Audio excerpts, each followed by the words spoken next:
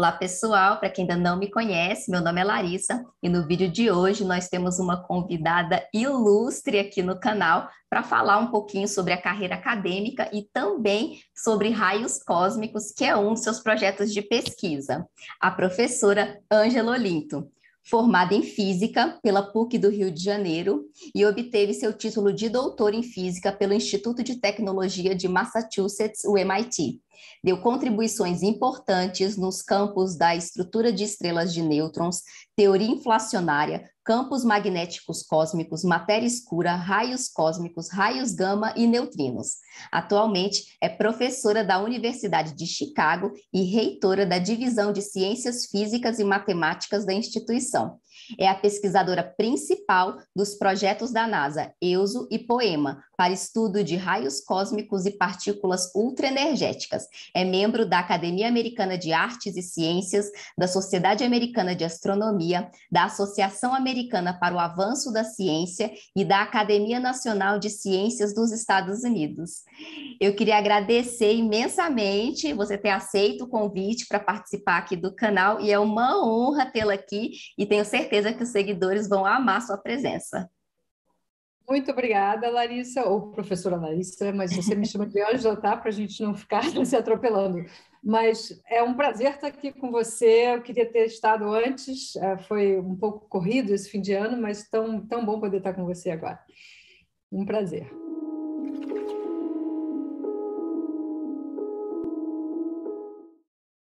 Ângela, fala para a gente um pouquinho da sua trajetória acadêmica e como você acabou trabalhando fora do Brasil. Quando eu era criança, eu curtia entender muitas coisas diferentes, sempre tive muita curiosidade é, e, e, não sabia que ia ser cientista quando crescer. Eu podia curtir coisas de arte, história, muita, muitas. Sempre me interessou muito a parte acadêmica da, da, da nossa vida, né? De, de, das opções que a gente tem na academia, mas é, quando eu estava no segundo grau na época, que eu gostei muito de física por causa de um professor que era muito bom, e é, para mim foi um assunto que passou a fazer mais mais parte da minha vida. Então, na, na universidade, na PUC, eu entrei para fazer física, com, ainda na dúvida se era por aí mesmo o meu caminho, é, tinha ainda interesses em outras áreas, mas é, foi muito bacana, uma época maravilhosa. Isso, eu tinha 16 anos quando entrei na universidade, então é, os outros em volta de mim eram mais velhos, mas é, a gente aprende o mais rápido possível e começa a participar, apesar de estar um pouquinho mais jovem. E a, me formei é, quatro anos mais tarde, com 20 anos, e fiz assim uma opção de querer fazer o doutorado direto, que às vezes a gente faz o mestrado e depois doutorado. Na época, ainda era uma transição, muita gente já tentava fazer ainda o doutorado direto. E aí eu apliquei para os Estados Unidos, vários lugares, e resolvi então vir para o MIT, que é um lugar muito craque na nossa área, e foi muito bacana como experiência. Foi bastante difícil é, esse início de. Tanto para mim foi difícil entrar na PUC, porque a minha escola de segundo grau não era tão boa quanto os meus colegas, então eu tive que aprender bastante nos primeiros seis meses como no MIT também. Nos primeiros seis meses foi aquele choque até a gente entender qual é a linguagem, né, em inglês e, e bastante matérias que eu não tinha me preparado tão bem. Então foi aquela correria, mas aí depois a gente passa a ser igual aos outros e aí continua puxando o, os limites. Então, é, quando eu fui fazer então meu doutorado, é, tenho a parte de aprender um monte de física e depois tem a parte de você contribuir para uma coisa nova, né? Então essa é a parte, digamos, mais difícil do doutorado em termos de tentar descobrir qual vai ser a área que você vai focar e tentar dar uma contribuição original na tua tese de doutorado. Então, no meu caso, é, eu comecei pensando em fazer física de partículas ligada ao CERN, a Higgs, a leptoquarks e mas é, o Ed Witten, que, era um, que é um professor muito conhecido em string theory, ele fez essa sugestão de que talvez existisse matéria estranha, que é uma matéria de quarks, e esse assunto levou a mim e o meu orientador a procurar entender o impacto desse tipo de ideia na parte de astrofísica. Então, basicamente, eu e meu orientador, que era de física de partículas, não de astrofísica, fomos aprender astrofísica juntos. E acabamos, então, eu acabei continuando na área da astrofísica, e esse meu orientador, Eddie Farr, agora trabalha em quantum computing, ou seja, terceiro assunto, mas é, eu que continuei meio é, eu com outros professores, obviamente, em volta do MIT, que aprendemos então essa parte de, de, astrofísica, mas logo de cara foi conectada com a física de partículas, e que hoje a gente chama de astropartículas. Né? Então, a, a área que consegue fazer.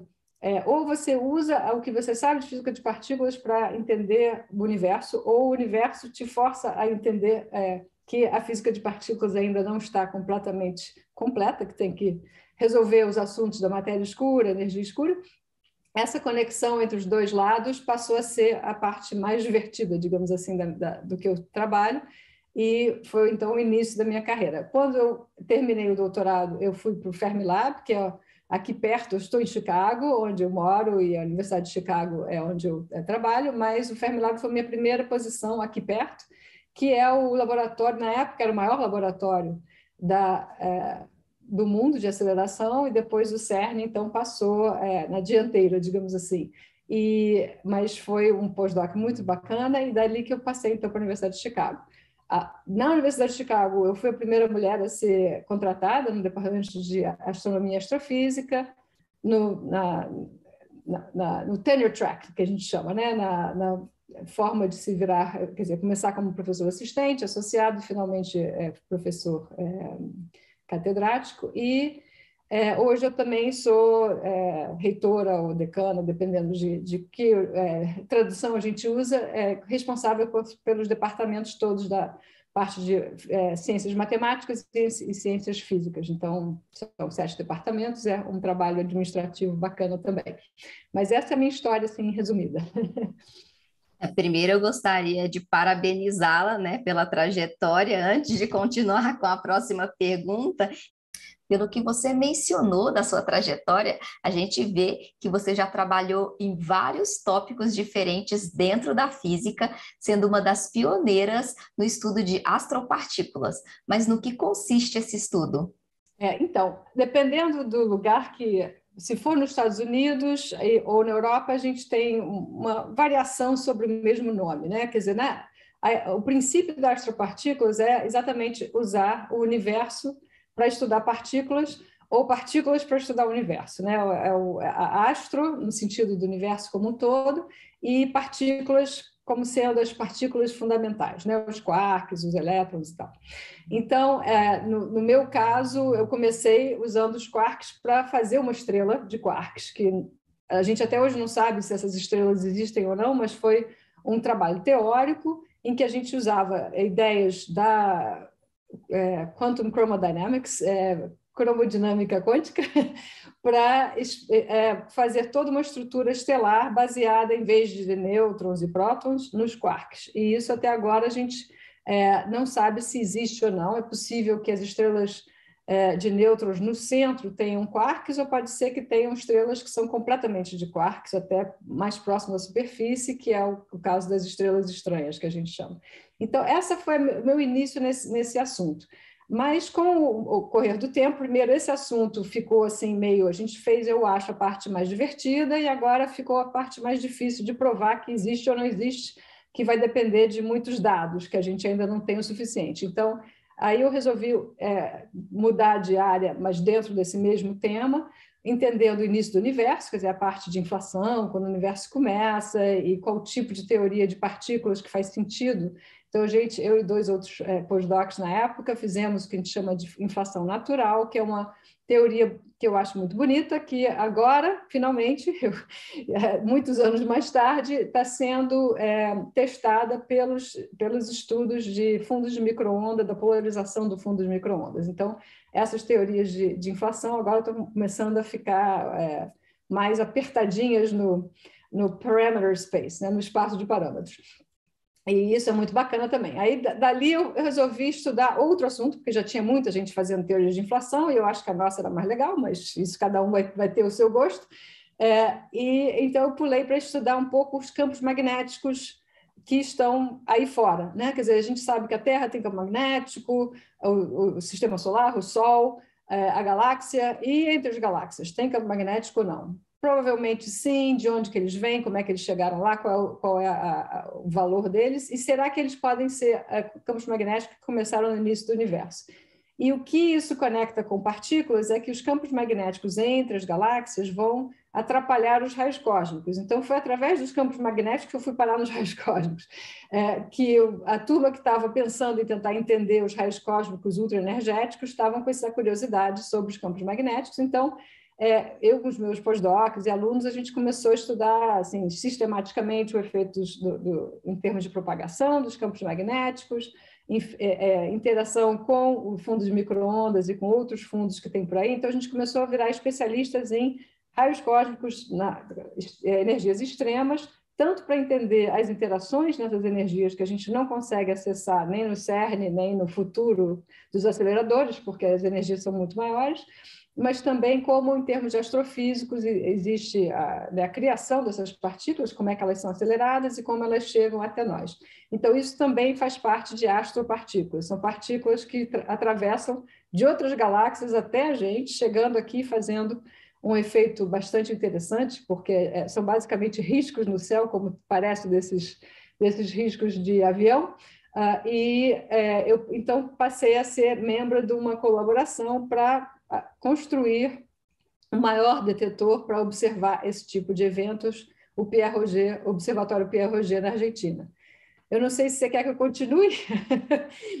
eu continuo mais um pouquinho. Então, aí eu passei a, ser a teórica, uma das pessoas da teoria, tentando fazer toda a base suficiente para a gente poder medir e entender o que, que significa isso em relação aos, às fontes dessas partículas e das interações que elas possam ter. No início desse projeto, a gente achava que a maior parte dos, dos é, raios cósmicos seriam prótons, seriam hidrogênio.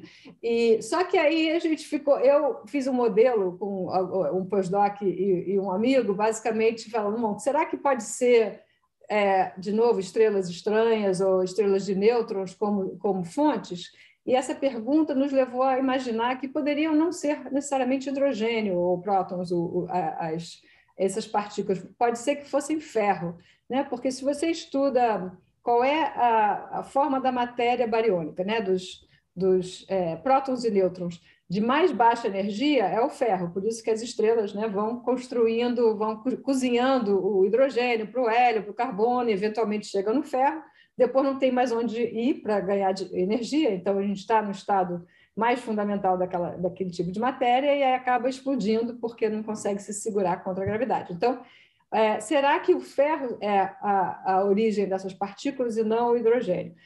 Que foi uma, uma ideia muito doida, mas a gente usou exatamente as estrelas estranhas ou estrelas de nêutrons que rodam muito, que têm uma, uma capacidade é, energética muito forte, quem sabe elas são os aceleradores. Então, quando a gente fez essa ideia, a gente falou, bom, pode ser que as primárias sejam de vários sabores diferentes, não só hidrogênio, e o que o OG mediu, eventualmente, foi exatamente uma composição muito mais rica do que so, somente o hidrogênio. Vai até ferro, a gente, quer dizer, não tem certeza qual é qual, mas que tem uma variação de coisas leves para coisas pesadas nesse final do espectro.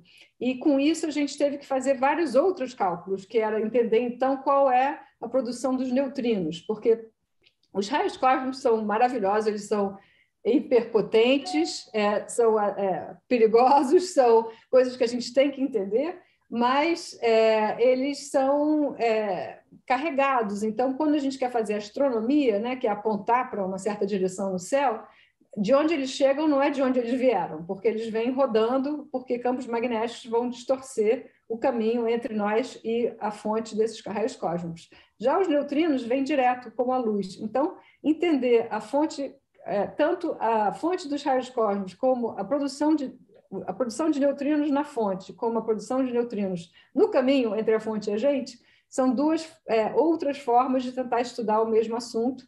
Então, a, a, conexão com os neutrinos é bastante natural.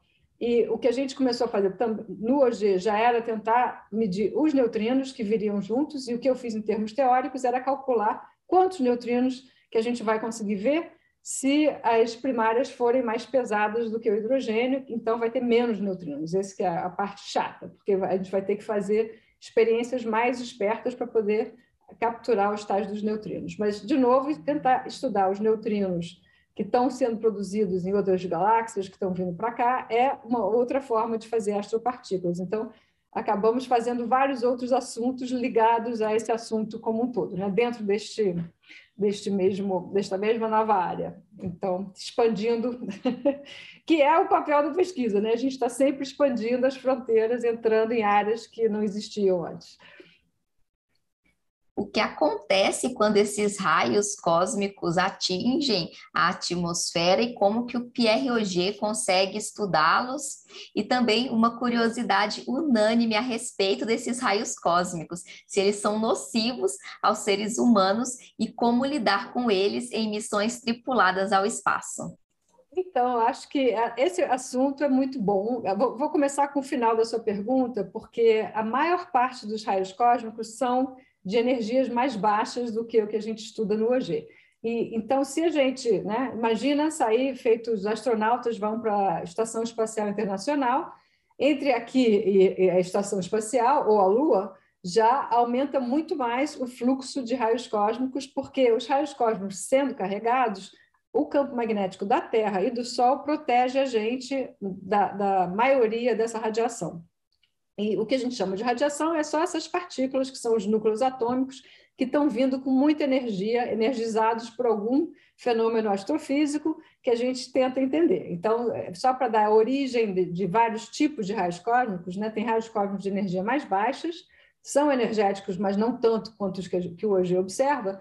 Esses são provavelmente acelerados em choques entre supernovas dentro da nossa própria galáxia, e eles têm variações também, mas são a maioria hidrogênio, né? são núcleo de hidrogênio andando perto da velocidade da luz, e esses realmente são perigosos, porque eles são muito comuns. Né? Quando você sai, se você sobe num balão ou num avião, já tem uma radiação muito maior do que no solo. Então, tem tanto o campo magnético quanto a atmosfera da Terra nos protegendo. Quando a gente pensa em daqui até a Lua ou da Lua até Marte, é muito tempo para o ser humano segurar é, esse tipo de radiação sem um certo efeito. Então, é um pouco perigoso. É, não quer dizer que vai né, acabar com a pessoa rapidamente, mas o efeito é cumulativo. Basicamente, a gente está é, fazendo uma distorção no próprio corpo. Né? As células, o, o DNA, o RNA, está tudo sempre é, sendo bombardeado por essas partículas que, eventualmente, vai, vai causar problemas de saúde maiores. Então, é, ter uma colônia em Marte tem que saber o que fazer com essa, essa radiação e até chegar lá, porque demora muito para chegar e, ou voltar.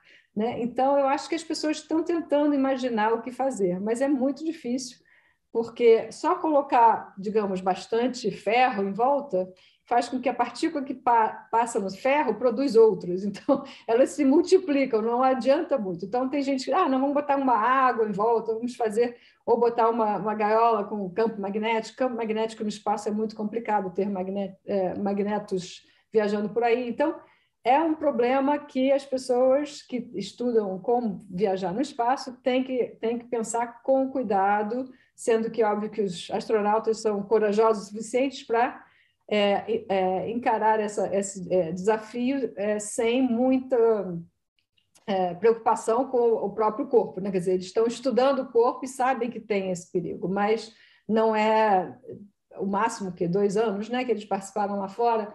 É, faz uma diferença, mas bom, vamos, ainda estamos aprendendo, digamos assim, mas eu acho que realmente para ter uma, uma ideia de que todas as pessoas vão ficar passeando de lá para cá, vai ter que entender exatamente como é, ou reparar o nosso DNA, né? Existe um lado, deixa estragar um pouco, chega do outro lado, dá uma, uma, uma limpeza geral, ou é, se proteger de alguma forma, e nenhuma das formas são muito leves, né? Quando você quer lançar coisa no espaço, é sempre mais pesado ter uma, uma proteção muito grande em volta dos seres humanos. Então, não é óbvio como lidar com isso. Agora, o meu, meu estudo são dessas partículas muito energéticas, que são, é, seria, poderia se pensar que são mais perigosas ainda, mas elas são tão raras que seria muito, muito improvável que uma pessoa indo daqui a Marte vai encontrar com um, um raio cósmico é, ultraenergético. Elas chegam, digamos, é, uma por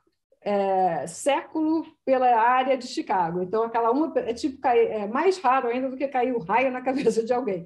Então, eu acho que as que a gente estuda não são tão perigosas no sentido de que elas são raríssimas. Então, é, é realmente as de mais baixas energias que têm que ser entendidas como se proteger. Essas muito energéticas são muito, muito raras. No caso da Terra, elas não fazem nenhum estrago, porque, de novo, elas se interagem com, com a nossa atmosfera e uma partícula dessas se transforma em centenas de bilhões de partículas que chegam como é, uma, uma espécie de panqueca de partículas todas juntas no solo, fazendo então ou uma forma da gente observá-las no solo, porque são esse monte de partículas que chegam juntas, ou elas também fazem essas linhas na, na atmosfera, que é uma forma de observar esse, esses eventos. São linhas que, quer dizer, não é uma linha como está aqui atrás, é, é uma, é uma lâmpada de ultravioleta se movendo na velocidade da luz. Então, passa bem rapidinho, mas os nossos detetores conseguem ver essas linhas. E assim a gente observa esse tipo de, de eventos é, e tenta estudar de onde que eles vêm. É bem interessante. Então, o Pierre Auger deve ter uma área enorme, né, para poder conseguir detectar essas partículas no solo. É 3 mil quilômetros quadrados de, de é, de área, né? então é bastante grande, é como se fosse um pequeno estado. Eu gostaria que você comentasse sobre a missão espacial Poema, em colaboração com a NASA, da qual você é investigadora principal. Por que é importante fazer essas medidas do espaço e quais perguntas vocês estão tentando responder? Então, o poema, quer dizer, a missão poema, que obviamente o nome é, foi minha invenção, porque fica legal em português, mas é, o, quer, dizer em inglês Probe of Extreme Multi-Messenger Astrophysics, ou a sonda de é, astrofísica de multimensageiros extremos. Ela tem como objetivo observar esses raios cósmicos, que o OG também observa, e é, neutrinos de altas energias também, energias um pouco menores do que os raios cósmicos, de PeV para cima. Então, é, ela tem dois tipos de observações, dois tipos de é, telescópios ou câmeras. É, é, um telescópio só, é um espelho, mas são dois tipos de câmeras de, de, de é, para observar é, eventos diferentes. E a ideia do lado dos raios cósmicos é poder ver um volume muito maior da atmosfera. O OG já é bastante grande, 3 mil quilômetros quadrados, mas ele observa a atmosfera acima de 3 mil quilômetros quadrados. Quando a gente vai para o espaço, a gente pode observar quase um hemisfério inteiro, né? dependendo da altitude que a gente está. Então, a gente pode ver, digamos, um quarto ou um terço da, da, da atmosfera ao mesmo tempo, e aí a gente consegue ver muito mais desses eventos é, a energia que a gente consegue observar vai ser mais alta, porque para você conseguir ver de longe, né, você vê muito mais a atmosfera, mas você vê eventos muito mais longe. Então, você não consegue ver os de baixas energias, só os de mais altas. Então, onde o OG começa a ter poucos eventos, que é o máximo da energia, digamos, que tenha sido observado até agora, a gente continua dali para frente. Né? Então, seria um próximo passo para complementar o trabalho do OG, ir para o espaço e tentar observar volumes maiores de atmosfera. E em relação aos neutrinos, o que a gente está observando são neutrinos do, do, sabor tal, que é o, tem três tipos de neutrinos, que você, é, a gente comentou antes que tem os prêmios Nobel sobre os neutrinos e, e a, a oscilação de um sabor para o outro. Então, tem o sabor do elétron, o sabor do muon e o sabor do tal. O tal é o elétron mais pesado, né? É uma partícula parecida com o elétron, mas bem mais pesada do que o elétron, não vive muito tempo, ela decai ou para o muon ou para o elétron, e esses neutrinos são produzidos. Os, é, as fontes é, extragalácticas ou na própria galáxia podem produzir vários tipos de neutrinos. O, o Sol produz é, eletro, é, neutrinos do elétron, que viram neutrinos do muon ou viram neutrinos do tal. Então, quanto mais longe, mais provável que a gente tenha um terço dos neutrinos sendo tal. E por que, que a gente gosta do tal? A gente gosta do tal porque ele consegue é, cruzar a Terra, produzir um tal lepton, um, um, um elétron parecido com tal, e esse tal ele, ele decai e faz então um sinalzinho. Porque os neutrinos, o problema deles é que eles passam né, bilhões por segundo pelo nosso é, dedão aqui, pelo polegar, e a gente não consegue detectar, a gente não sente absolutamente nada. Eles são muito difíceis de interagir mas o tal, ele interagindo, formando um, um tal lepton, que a gente um lepton de tal, ele decai e ele faz esse tipo de chuveiro que a gente vê em relação aos raios cósmicos, só que subindo em vez de descendo, porque os raios cósmicos seriam esses chuveiros de, descendo na atmosfera e os taus seriam subindo na atmosfera. Então, com o mesmo tipo de técnica, a gente consegue observar é, a subida dessas, desses chuveiros que só podem ser produzidos por neutrinos. Então, isso é a técnica. Mas por que a gente quer ver esses neutrinos? Porque quase tudo que é interessante, ondas gravitacionais é, produzidas por duas estrelas de nêutrons que chacoalham todo o espaço-tempo, que vem de longe, produzem neutrinos também. Quando uma estrela e um buraco negro se encontram, também produzem neutrinos. Então, vários eventos assim meio catastróficos que têm ou estrelas de nêutron ou buracos negros produzem neutrinos e a gente podendo observar os neutrinos e em conjunto com outros observatórios que veem a parte dos fótons, né, da luz produzida ou das ondas gravitacionais, a gente consegue entender o que está acontecendo dentro do sistema de uma forma bem mais precisa do que olhando de fora depois que já acabou a festa, digamos assim. Isso, continuando sobre os neutrinos, será que esses experimentos podem ser capazes de nos dar um pouco mais de entendimento a respeito da física dos neutrinos, por exemplo, as massas e coisas do gênero? Certamente a gente gostaria, né? Eu, eu falo sempre que o sonho do, do, das pessoas de astropartícula é, é poder medir física nova, né? A gente também quer entender astrofísica, mas se a gente conseguir ver que tem uma interação que a gente não sabia que tinha, ou medir a, a efeitos da matéria escura, é, por exemplo, através dos neutrinos, seria muito bacana. A parte de oscilação né, e, e detalhes sobre a interação dos neutrinos, a gente tem é, experiências muito mais, digamos, controladas, feitas em laboratório, feito o Fermilab, que tentam medir os parâmetros bem precisamente. Eles sabem exatamente de onde que veio o neutrino, com quantas qual é a energia do neutrino, enquanto a gente meio que capta os, os neutrinos que chegarem. Então, a gente tem menos controle sobre uma parte da experiência. Mas eu acho que o, futuro é exatamente. Primeiro, a gente tem que detectar bastante neutrinos, né? porque até agora esses neutrinos astrofísicos, só o Ice Cube que tem observado, e o Ice Cube é um cubo né, de um quilômetro cúbico, é um detetor, que são um quilômetro por um quilômetro por um quilômetro, né, um cubo de um quilômetro de gelo, é, que não é o, a gente, é, quer dizer, a turma do Ice Cube não fez o gelo, o gelo já está lá na, no Polo Sul, eles só instrumentam esse gelo com detectores, e aí os, o, o, efeito de um neutrino, que normalmente é um, um muon ou um peteleco no elétron, é, é, observado através de é, detecção de luz dentro desse, desse gelo gigante. Então, o Ice Cube tem visto vários neutrinos, mas não o suficiente para poder fazer grandes medições. Mas a ideia deles é fazer, quer dizer, tem um tipo de neutrino, que é o neutrino que é produzido pelos raios cósmicos na nossa atmosfera, então são neutrinos, digamos, recentes ou locais. Isso já dá para fazer, inclusive, o prêmio Nobel da oscilação é baseada nos neutrinos tanto do Sol quanto dos, dos raios cósmicos, né? dos do que a gente chama atmosféricos. Mas é o raio cósmico na atmosfera produzindo os neutrinos. O que a gente quer usar são os neutrinos feitos por objetos bem mais distantes, que aí a gente tem uma distância entre ser produzido, chegar, poder medir se os sabores são iguais, digamos que a gente pudesse observar os três sabores dos neutrinos de um mesmo objeto numa outra galáxia, ia ser uma medida que não dá para fazer na Terra. Então, esse tipo de medida vai ser muito bacana. Então, eu acho que no futuro a gente vai fazer física de partículas usando esses neutrinos. Mas eu acho que a gente ainda está na fase de detectar mais e mais e saber exatamente de onde eles estão vindo, identificar é, a fonte e, e, mais detalhes, o número tem que aumentar para poder fazer é, medidas mais precisas. Né?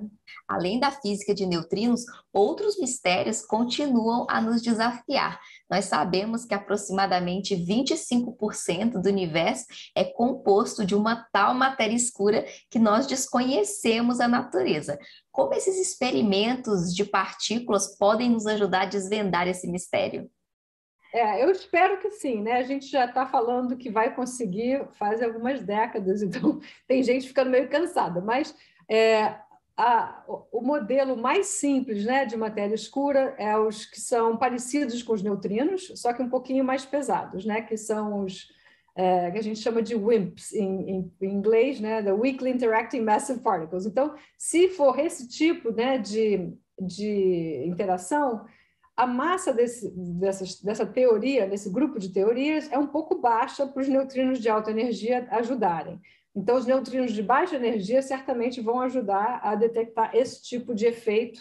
Quer dizer, certamente se eles estiverem lá, né? se tiver esses, esses WIMPs, mas até agora não conseguimos. É, tem várias experiências indo atrás do, desses tipos de matéria escura, e até agora não deu muito resultado, mas é, tão, as experiências estão cada vez melhores, a com sensitividade, sensitivity cada vez mais forte, e, é, bom, então seria, digamos, o mais óbvio que sairiam de uma das experiências desses, mas por enquanto não saiu. Então pode ser que a gente esteja procurando no lugar errado. Se a massa do, do, dos, da matéria escura for bem mais pesada e a energia de decaimento, de interação for muito mais alta, aí a gente já começa a pescá-las também. Então, existem modelos de matéria escura mais pesada, que vai, vão gerar neutrinos e raios cósmicos de energia mais alta, em geral, neutrinos e fótons, e a gente poderia, então, é, detectá-los, e a gente tem papers e discussões e teorias mostrando como que a gente poderia ver esse tipo de matéria escura. Tem matéria escura até mais mais leve do que os WIPs, que também tem que usar outro tipo de técnica. Então, acho que, como a gente, o mais óbvio não funcionou, está todo mundo tendo ideias bem mais coloridas e bem mais, eu acho, divertidas, de certa forma, mas, ao mesmo tempo, não é óbvio como que a gente vai conseguir é, achar onde que está em termos de massa, né? Se, se, a massa é muito baixa, ou se a massa é média, ou se é muito alta. Então, a gente tem que, na realidade, fazer experiências em todas essas áreas para conseguir descobrir. E outra coisa que é interessante é que você falou dos 25%, né? o resto é matéria, é, é energia escura, não é nem matéria, e a energia escura talvez tenha alguma conexão com neutrinos também. Né? Isso é total especulação, mas é, a, a, energia, a densidade de energia da energia escura é a massa do neutrino à quarta potência. Então, é, tem, pelo menos em termos de coincidência, uma certa conexão, e seria interessante saber que esse setor do lado dos neutrinos são tão, é tão difícil de estudar que pode ser que tenha algumas conexões com outros com outra parte, é, digamos, do universo que a gente não tem acesso, né? a parte que não interage muito e talvez tenha é, respostas sobre outros mistérios desse lado também. Então, essa parte é bastante especulação, mas faz sentido, porque é uma área que a gente não tem tanto acesso e, e muitas das experiências com neutrinos é para tentar entender também física que sai do nosso modelo padrão de, de física de partículas. Mudando um pouco de assunto e também levando em consideração que você tinha mencionado ter sido a primeira professora mulher da Universidade de Chicago, você acredita que o preconceito de gênero ainda afeta as mulheres na ciência? E qual o seu conselho para as meninas que pensam em ingressar nas áreas de ciência, tecnologia, engenharia e matemática? É, eu acho que melhorou muito, mas ainda existe, né? É, é, não é e também é uma coisa é uma coisa humana, né? Você pode dar sorte de ter pessoas em volta que não têm preconceito, então você nem percebe que isso existe muito. É, é improvável chegar à minha idade sem ter encontrado alguns problemas sérios, mas é, cada vez eu acho que a grande diferença de quando eu tinha meus 20 e agora é que tem muitos dos meus colegas que sabem que isso é um problema. Né? E antes, a maioria achava que não tinha problema nenhum, que não era, era só uma questão de, ah, é, eu não tenho preconceito nenhum, mas é, realmente, não tem nenhuma mulher aqui, mas não percebi que tem nenhuma diferença, né? Claro que nós, as mulheres, percebíamos que tinha uma diferença, porque logo no início já era é, todo comentário sobre roupa era na nossa direção. Se era alguém que tinha que trazer é, biscoito para o café, eram as mulheres. É, quando alguém tinha alguma crise ia falar com a mulher, eu tinha uma amiga é, que era professora em Harvard e ela dizia: todo colega que tem uma crise acha que eu tenho que ficar ouvindo qual é o problema da, da vida dessa pessoa. Não quero não é que a gente né, não tenha empatia, eu acho bacana que a gente tenha empatia, mas por que, que os homens também não têm empatia? Por que, que são só as mulheres? Então, é, essa coisa de, sem querer, né, ter essas uh, tendências, fora coisas mais sérias, né, de agressão mesmo, de é, sexual harassment, essas coisas todas a gente tinha que estar muito prestando atenção. então, uma coisa que eu dizia para os, para os meus alunos e colegas no início né, da minha carreira era escolhe a pessoa que você consegue lidar para estudar e não o assunto, né? Porque se a gente só escolhe o assunto, a gente acaba tendo que lidar com pessoas que não conseguem lidar com a gente. Então, atrapalha. Dizer, por mais paixão que a gente tenha por uma certa área, se as pessoas que a gente vai ter que colaborar não tratam a gente bem, é difícil continuar. Então, eu certamente escolhi minhas áreas, que eu tinha minha curiosidade em geral, mas no menu de possíveis professores de trabalhar, sempre escolhi pessoas que eu sentia que eu podia né, ser um mínimo de respeito e um mínimo de, de valor ao que a gente faz. Então, acho que essa parte melhorou, que é o fato das pessoas serem muito mais conscientes de que isso é um problema e que é uma, é, já tendo consciência já melhora, né? Já dá uma, uma sensação que não é um problema meu, é um problema da comunidade. Então, os homens da comunidade também estão trabalhando para tentar mudar tanto a, a si próprios como a, aos, aos, colegas, e nós mulheres também temos que mudar no sentido de é, não necessariamente assumir os papéis que são só das mulheres, né? e deixar os homens fazerem os papéis também. Então, tem, tem um certo esforço dos dois lados para tentar criar uma, uma visão mais equilibrada do, do futuro. E, e eu acho que é, outro problema é o nosso interno de se achar é, menor, né? de não de ter o problema de impostor, e esse tipo de coisa é uma coisa que a gente tem que trabalhar consigo mesmo, né? de tentar fazer uma, que a gente chama aqui thick skin, né? ter, ter uma, uma, uma defesa um pouco mais forte do, do seu sentido de ser, né? É, não ficar tão desesperado se a gente, se a gente tropeça aqui e ali, é, normal, todo mundo tropeça, mas é, levar cada tropeção como sendo uma negação da nossa vontade de fazer algo nessa área é que não, não deveria ser seguir, né? Uma coisa não deveria ligar à outra. Mas, infelizmente, às vezes acontece, né? Você leva um tropeção e diz, não, então não é para mim. Mas não é bem isso.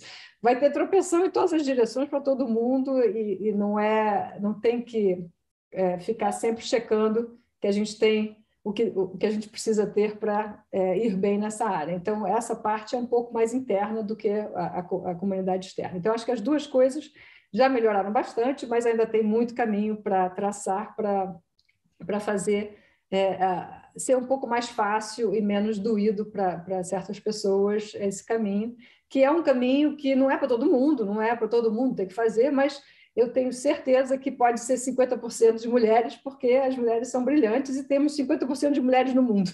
Então, por que não? Né? Então, eu acho que essa parte é, não é que tem que ser exato, mas que a gente tem que facilitar as pessoas que tenham essa curiosidade, que tenham essa vontade de aprender como é que funcionam as coisas é, e não serem é, descartados por questões de gênero, que é um absurdo, ou de raça, ou de qualquer outro, outra questão que não seja a vontade e a capacidade, o talento, a dedicação de, de seguir nessa carreira. Né? Ângela, eu agradeço imensamente a sua participação aqui no canal, a disponibilidade, a clareza com que você expôs todos o conteúdo. Muito obrigada e quem sabe espero tê-la mais vezes aqui. Então, Larissa, muito obrigada por me ter aqui um pouquinho. É, eu gostaria de te conhecer em pessoa, né, em três dimensões, é, ou no Brasil ou na China. Eu acho impressionante a sua carreira também, parabéns. E vamos então continuar tentando se achar em três dimensões. Se vocês gostam desse tipo de vídeo, não deixem de se inscrever no canal, curtir, compartilhar com os amigos e acionar o sininho para não perder nada. Ficamos por aqui, nos vemos no próximo vídeo. Um beijo, tchau!